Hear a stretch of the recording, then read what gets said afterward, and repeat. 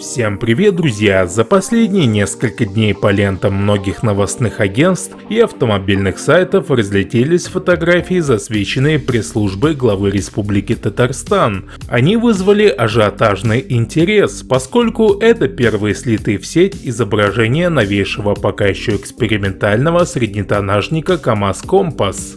Поскольку никакой технической информации по машине не раскрывается, далее, как говорится, верю своим глазам. И глаза подсказывают, что премьер-министру России Мишустину и президенту Татарстана Мининханову продемонстрировали грузовик полной массой 8 тонн, являющийся по сути китайским Jack N80. Он вовсю продается в России, причем довольно успешно, по цене от 2 миллионов 600 тысяч рублей за голое шасси.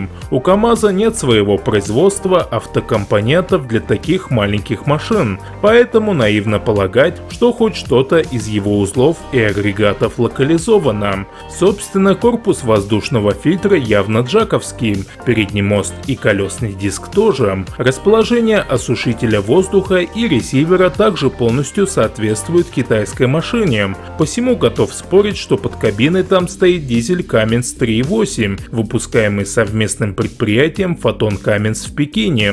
На китайце он форсирован до 152 сил и соединен с шестиступенчатой коробкой передач, которую Джак делает самостоятельно. Интерьер, как видно, тоже один в один джаковский, отличий не вижу. Обратите внимание на голый металл в задней части кабины выше подоконного пояса. Судя по всему, вся разница между КАМАЗ и Джак сводится только к оформлению пластика передней маски кабины, которая у компаса приведена к единому новому фирменному стилю челнинских грузовиков. И это изменение вообще ни разу не в пользу КАМАЗа. Эти точечные фарки глазки, держу пари, будут освещать дорогу значительно хуже, чем большие вертикальные фары джаков, подсмотренные у Исузу. Кстати, несколько лет назад Камский автозавод уже пробовал подступиться к созданию нового поколения среднетонажников при помощи иностранного партнера. Тогда в КАМАЗ попробовали превратить Фусакантер, который собирается здесь же в Челнах. Но, видимо, экономика у этого проекта хромала. Если изучить всю фотогалерею пресс-службы президента, там можно найти еще очень много интереснейших деталей, включая еще несколько фотографий впервые показанных на публике прототипов, только не все смогли это заметить.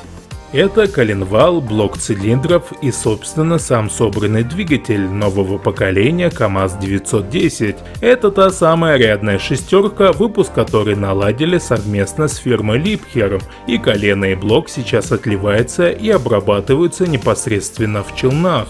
Последний пост конвейерной линии, финальной проверки и регулировки проходит магистральник КАМАЗ-54-901 последнего поколения К5. В стороне виднеется шасси поколения К4 с кабиной Mercedes-Benz Axor. На переднем плане серийный КАМАЗ-6565 поколения К5, что следом непонятно, две одинаковые машины выставлять бы не стали. Предположу, что там газодизельная версия того же 6565, а дальше два каких-то очень интересных полноприводных грузовика нового поколения, настолько новых, что для них еще не успели изготовить оригинальные маски кабин. Синий грузовик на заднем фоне это вовсе не компас, это электрическое шасси под мусоровозы и другие коммунальные надстройки. КАМАЗ 53-198 Чистогорм. Это двухосный тяжелый грузовик полной массы 19,5 тонн и запасом хода около 100 км, с учетом прессования отходов в процессе работы в качестве мусоровоза. Кабина поколения К4. Машину обещает пустить в производство в 2000 2023 году, хотя сдается, что она таки превратится в итоге в 6 на 2. Запас хода нужно увеличить сильнее, а вес батареи и в существующем варианте получится запредельным. Напомню, что в России эксплуатация грузовиков 4 на 2 без спецразрешений допускается при их массе до 18 тонн.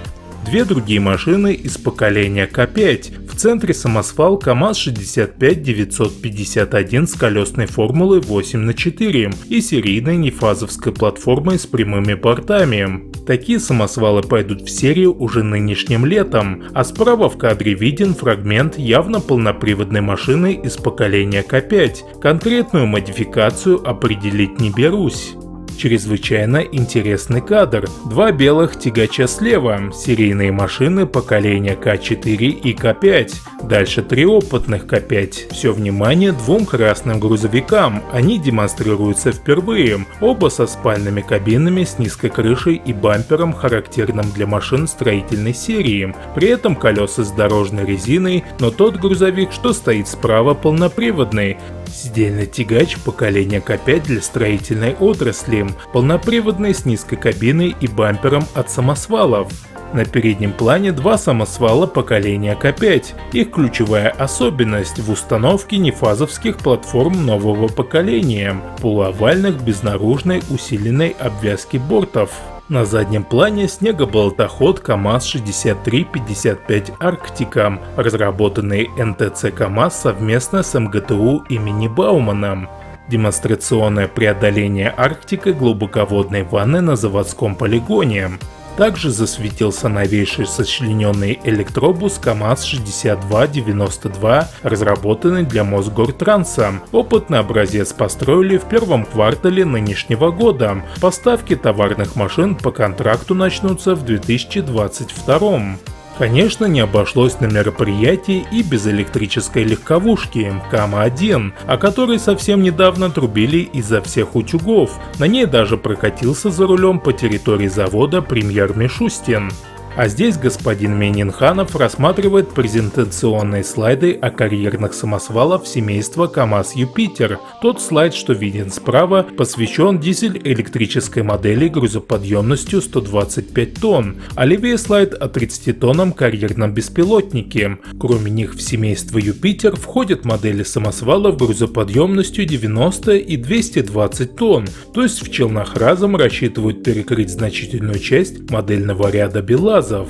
А это другой новый строительный проект КАМАЗа – шарнирно-сочлененный самосвал «Геркулес» грузоподъемностью 35 тонн с электромеханической трансмиссией. С этим продуктом в Челнах рассчитывают побороться на рынке с аналогами марок Volvo, John Deere, Caterpillar и так далее. Первый опытный образец, судя по стадии готовности машины, достроят уже в этом году показали гостям и продукцию некоторых совместных предприятий, что действуют на территории КАМАЗа. На снимке Мерседесы, которые собираются на совместном предприятии Daimler КАМАЗ Рус. Справа налево два грузовика семейства Actros, а еще два из семейства Arax. Вот такая получилась экскурсия, надеюсь было интересно. А в комментариях предлагаю высказаться по поводу компаса, Юпитера и Геркулеса. Что скажете, КамАЗ на правильном пути или нет? А на этом все. Спасибо за просмотр, ставьте лайк и подписывайтесь на канал. Также не забывайте нажимать на колокольчик, чтобы не пропустить новые видео.